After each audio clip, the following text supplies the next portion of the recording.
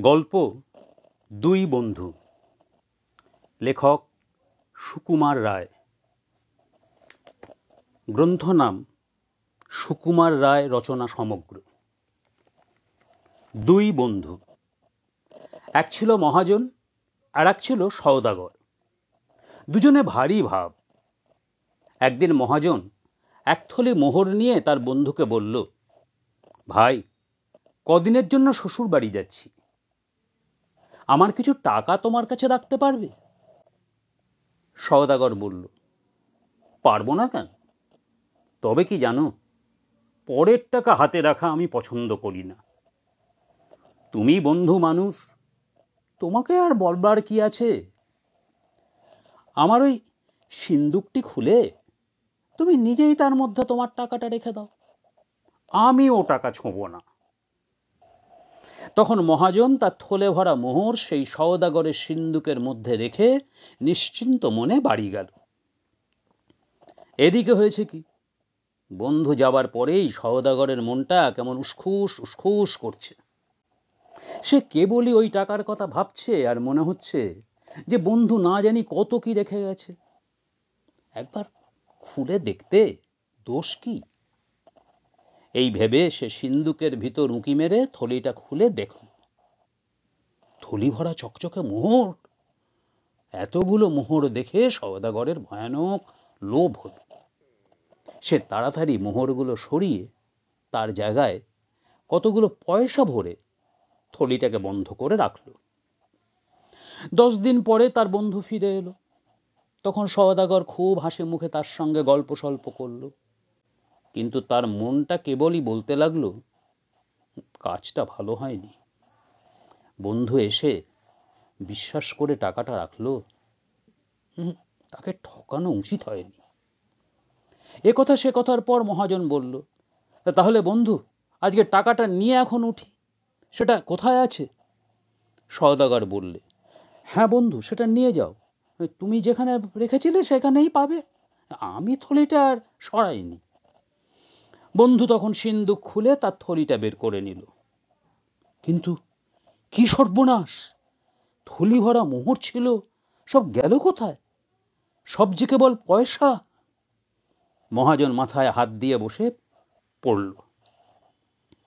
সয়দাগর বলল, ও কি বন্ধু? মাটিতে বসলে কেন? বন্ধু বলল, ভাই, সর্বনাশ হয়েছে। আমার থলি ভরা মোহর ছিল। এখন দেখছি একটাও মোহর নেই। কেবল কতগুলো পয়সা?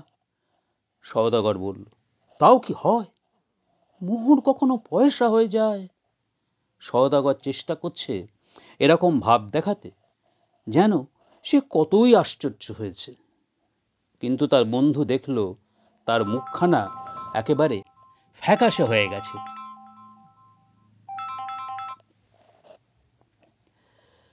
ব্যাপারটা বুঝতে তার আর বাকি রইল না। তবুও সে কোনো রকম রাগ না দেখিয়ে হেসে বলল, আমি তো মোহর মনে করেই রেখেছিলাম এখন দেখছি কোথাও কোনো গোল গোল হয়ে থাকবে। যা যা গেছে তা গেছে সে ভাবনায় আর কাজ নেই। এই বলে সে সওদাগরের কাছে বিদায় নিয়ে পয়সার থলি বাড়িতে নিয়ে গেল। সওদাগর হাঁপ ছেড়ে বাঁচল। দু মাস পরে হঠাৎ একদিন মহাজন তার বন্ধুর বাড়ি এসে বলল, বন্ধু, আজ আমার বাড়িতে পিঠে হচ্ছে। বিকেলে তোমার ছেলেটিকে পাঠিয়ে দিও। বিকেলবেলা সওদাগর তার ছেলেকে নিয়ে মহাজনের বাড়িতে রেখে এলো আর বলল, সন্ধ্যার সময় এসে নিয়ে যাব মহাজন করল কি, ছেলেটার পোশাক বদলিয়ে তাকে কোথায় লুকিয়ে রাখল আর একটা বাঁদরকে সেই ছেলের পোশাক পরিয়ে ঘরের মধ্যে বসিয়ে দিল। সন্ধ্যার সময় সওদাগর আসতেই তার বন্ধু এসে মুখখানা হাঁড়ির মতো করে বলল, ভাই, একটা বড় মুশকিলে পড়েছি।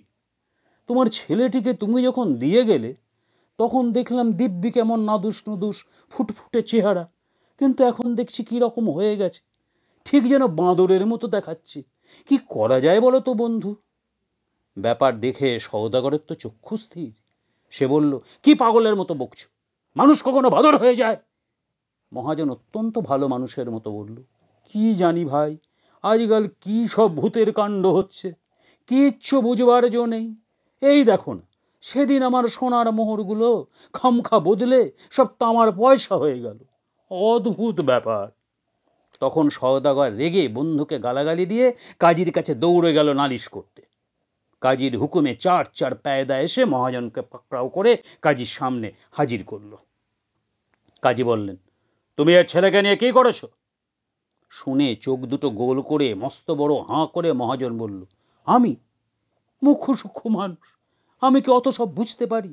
হুজুর, ওর বাড়িতে মোহর রাখলাম, দশ দিনে সব পয়সা হয়ে গেল। আবার দেখুন ওর ছেলেটা আমার বাড়িতে আসতে না আসতেই ল্যাচ ট্যাচ গজিয়ে দস্তুর মতো বাঁদর হয়ে উঠেছে। কি রকম যে হচ্ছে, আমার মনে হচ্ছে সব ভুতুড়ে কাণ্ড। এই বলে সে কাজীকে লম্বা সেলাম করতে লাগল।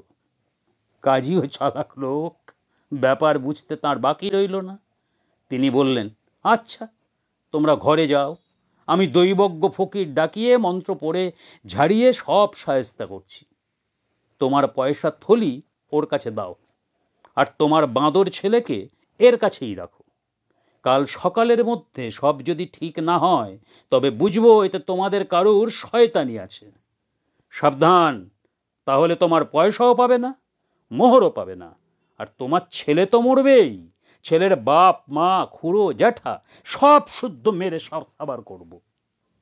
সওদাগর পয়সা থলি সঙ্গে নিয়ে ভাবতে ভাবতে ঘরে চলল। মহাজন বাঁদর নিয়ে হাসতে হাসতে বাড়ি ফিরল। ভোর না হতেই সওদাগর থলির মধ্যে আবার মোহর ভরে মহাজনের বাড়ি গিয়ে বলছে, বন্ধু বন্ধু, কি আশ্চর্য দেখে যাও, তোমার পয়সাগুলো আবার সব মোহর হয়েছে। মহাজন বলল, তাই নাকি? কি আশ্চর্য কি আশ্চর্য, এদিকে সেই বাঁদরটাও আবার তোমার খোকা হয়ে গেছে। তারপর মোহরের থলি নিয়ে সওদাগরের ছেলেটাকে ফিরিয়ে দিয়ে মহাজন বলল, দেখ জোচ্চোর, ফের আমায় বন্ধু বন্ধু বলবি তো, মেরে তোর থোঁতা মুখ ভোঁতা করে দেবো।